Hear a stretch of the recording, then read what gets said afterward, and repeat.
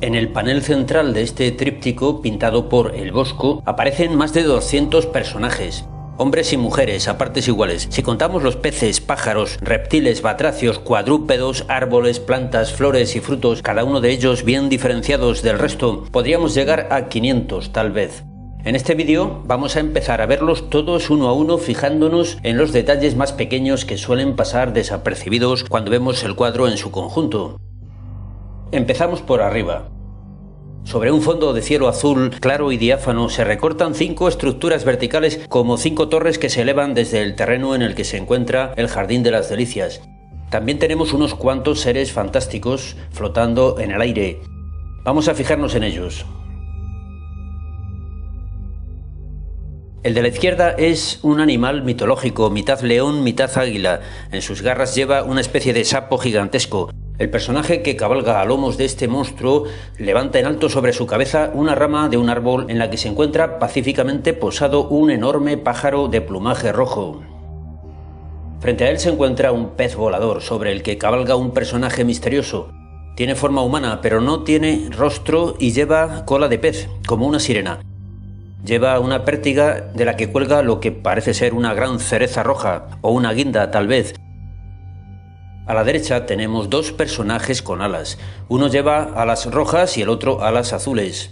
El primero lleva en sus manos una guinda precisamente, y sobre ella aparece una figura blanca que parece un pájaro, pero que tiene un aspecto bastante indefinido o fantasmal. El segundo lleva en sus manos un pez, y posado en sus posaderas lleva un pájaro azul. Por encima de estos hombres voladores aparece un gran pez, y si nos fijamos en lo que lleva a cuestas, resulta que no está nada claro qué puede ser eso, y por mucho que nos acerquemos a mirar, creo que no vamos a ser capaces de descifrar el misterio. ¿Qué tenemos en las cinco torres? Empezamos por la de la izquierda.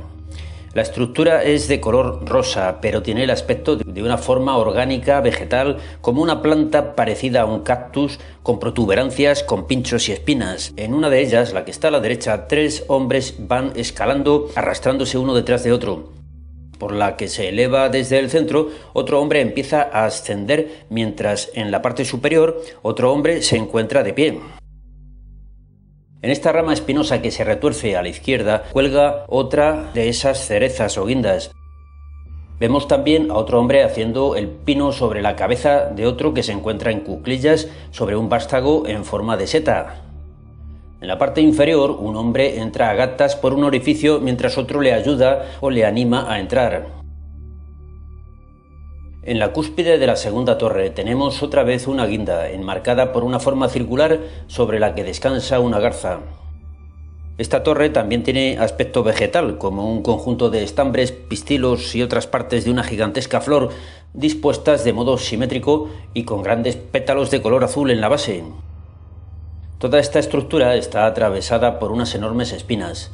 Dos hombres se encuentran en estas formas puntiagudas, mientras otros dos se encuentran escalando hacia arriba en la izquierda y hacia abajo a la derecha a lo largo de los dos mástiles de color gris que culminan juntos en el círculo central en la parte superior. En la parte inferior hay una entrada en la que se encuentran un grupo de mujeres. No sabemos si están impidiendo o animando a entrar. La torre central es esta. A diferencia de las dos anteriores, no tiene aspecto orgánico, sino que más bien se parece a una estructura arquitectónica de diseño clásico, o mejor dicho, barroco, pero con formas simétricas que nos recuerdan a una fuente o a un monumento. Sin embargo, en los remates que sirven para coronar los elementos verticales sí que aparecen formas de apariencia vegetal. Son como capullos que están a punto de abrirse. Estos tienen en la parte superior unas formas de media luna de color rojo. La media luna también aparece en la base de toda la estructura. Unos cuantos pájaros, solos o por parejas, reposan en los salientes de esta torre. Algunos de ellos parece que están bebiendo el agua que en la fuente sale y es recogida en algunas plataformas o bandejas. La cuarta torre tiene una forma bastante extraña. Tiene el aspecto de una montaña informe de color rosa con aberturas que parecen dar a unas grutas en el interior. Pero podemos ver algunas formas regulares también, como esta forma a la izquierda que parece una vasija o esa otra en el centro que parece un queso. Esta última se encuentra rematada por una forma ovalada abierta en su parte derecha, por donde aparece un personaje. Resulta que está alargando su mano hacia una forma de media luna que nos recuerda a las que aparecían en la torre anterior. Esa forma de media luna la tenemos también junto al hombre que se encuentra en la parte superior del gran mástil que sale desde la vasija de la izquierda. En la base de este mástil aparece un hombre que ha empezado a escalar por él y justo en la boca de la vasija vemos que sale otro mástil igual que el primero, pero inclinado. Este mástil atraviesa una semiesfera que se sitúa de modo inestable sobre el óvalo de la parte central. En el interior de la semiesfera vemos dos figuras humanas. No es fácil distinguir si son hombres o mujeres o qué es cada uno. En todo este conjunto extraño, además, aparecen dos formas bulbosas de color azul como incrustadas. Vemos también algunas parejas de aves, unas cuantas garzas y un ciervo. En la parte inferior vemos a un hombre llevando a cuestas un extraño animal. En el centro, en lo que parece ser la entrada de una cueva, aparece un hombre como discutiendo o pidiendo entrar. Y a la derecha vemos a otro hombre que parece querer entrar por una ventana. Se me olvidó decir que por la boca de aquel mástil inclinado que hemos comentado antes parece que van saliendo bandadas de pájaros. Y por cierto, la forma de media luna también aparecía en la primera de las torres, aquí la puedes ver. Vamos con la última de las torres, es esta. Es bastante curiosa y extraña, tiene elementos muy heterogéneos. Los de la parte inferior, de color rosa, parecen hojas y espinas. Se encuentran sobre una base formada por formas cilíndricas como si fueran columnas, pero a su vez parecen de vidrio. En los elementos de la parte superior se combinan formas muy variadas, en parte puntiagudas, en parte ovaladas y redondeadas. Parecen de textura lisa y brillante, de colores irisados con vetas azules y rojas.